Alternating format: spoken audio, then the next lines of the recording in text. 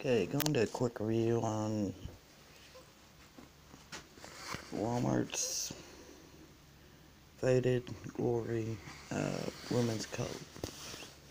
I bought this about a year ago. I bought it back around Christmas, Thanksgiving, somewhere along that area. You got nice little hood here. It comes off you can take it off if you want, or you can leave it on. Sleeves. Okay,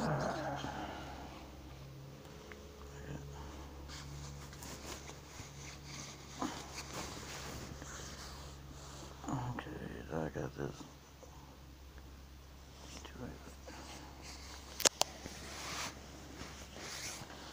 Good. It's got good pockets to where you put your gloves and hat, uh, hand warmers, uh, scarves, uh, winter outerwear. Got good lining.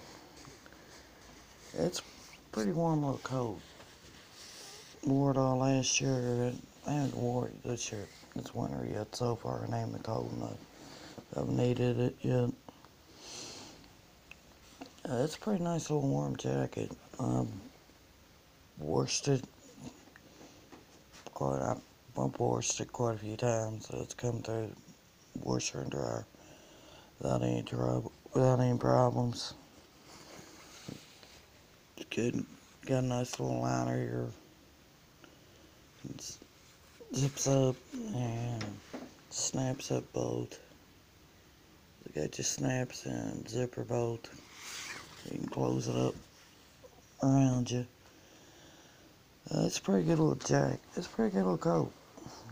Got me good and warm last winter. I was out and about.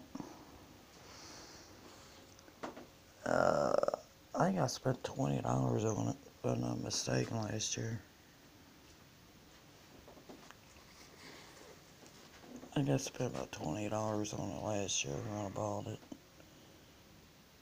It, like I said, it's kept me good. It kept me good warm last year.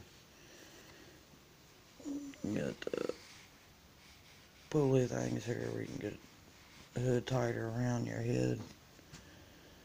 Uh, good little coat.